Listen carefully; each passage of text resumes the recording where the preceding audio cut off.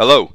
In this demonstration, I am going to show you how an Exchange 2010 user with administrative rights has the ability to log into Outlook Web App and utilize the Exchange Control Panel to modify another user's settings.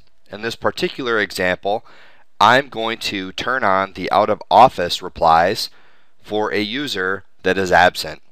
So I'm going to go ahead and log in as an administrative user to Outlook Web App.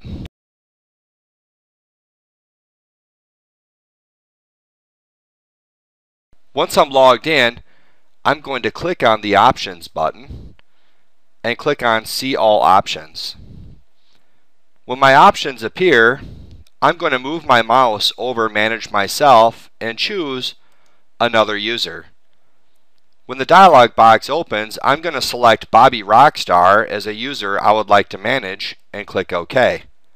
From here, I can edit all sorts of information about Bobby Rockstar, but I'd like to go to Organize Email in this demonstration, click on Automatic Replies, and now I'd like to send automatic replies.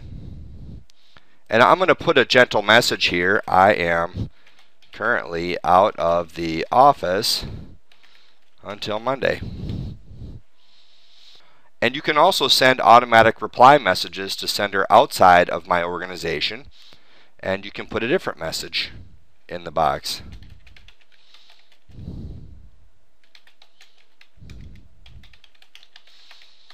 So I've got two different messages.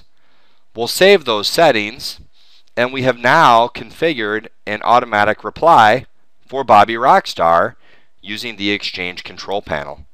I'm going to go ahead and close this page and now I'm back at my own Exchange Control Panel as an administrator.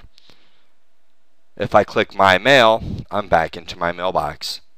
And this concludes my demonstration on how to use the Exchange Control Panel as an administrative user and modify another user's settings. This is BrickHouseLabs.com, and thank you very much for watching.